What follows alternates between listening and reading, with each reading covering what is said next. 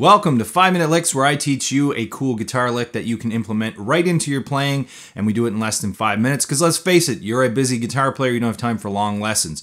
So let's get to it. Today's lick is a cool little lick that you can use either over a minor chord or a dominant chord. There are some bluesy elements, some chromatic movements, so uh, let's check it out. Here's today's lick.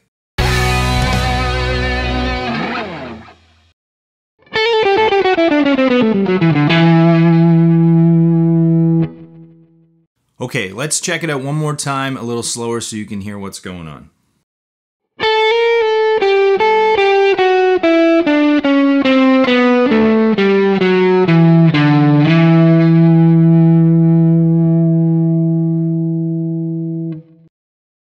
All right, let's have a quick look at what the left hand is doing in this uh, example.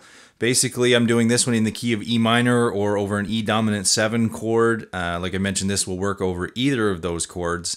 And what we're going to do is in the key of E, we're going to start here on the A, which is the 4. So as you move this up and down after you mastered a lick, just remember you're going to start on the 4 of whatever key you're on. Then you're going to do a little triplet uh, between the A, uh, the 4, and the flat 5. And then back.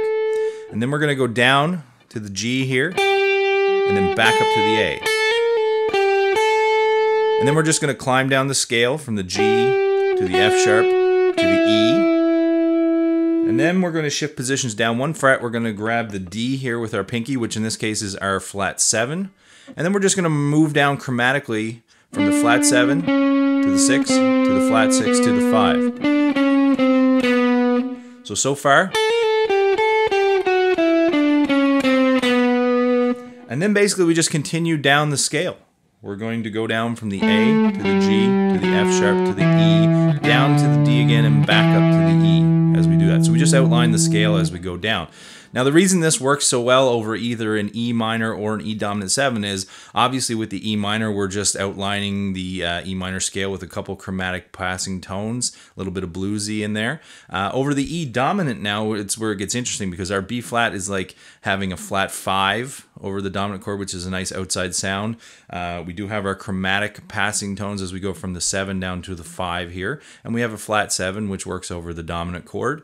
Uh, and then we're also grabbing the G, which is a, a sharp 9 over the dominant chord. So we could get some of these nice outside sounds with the chromatic passing tones, the flat 5, the sharp 9. So it's a nice uh, kind of bridge between blues and, and jazz when you're working over a dominant 7 chord. So um, yeah, you can use it over either of those chords. All right, let's hear it over a dominant 7 chord first. Here we go.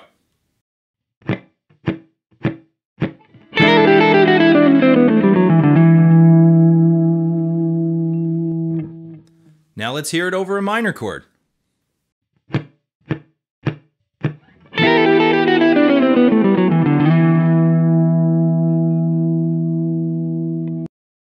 All right, let's look at what the right hand is doing while this is going on. The entire thing is alternate picked except for the initial little triplet that we do, which is a hammer-on pull-off after you pick the first note. And then everything else is alternate picked. In terms of the counting for this, it's basically all 16th notes, one E and a two E and a, uh, except for that little triplet is a 16th note triplet, so you kind of have a one E and a two E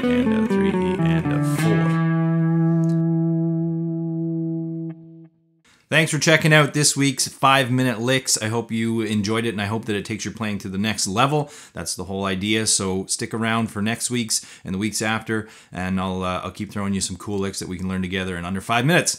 Take care.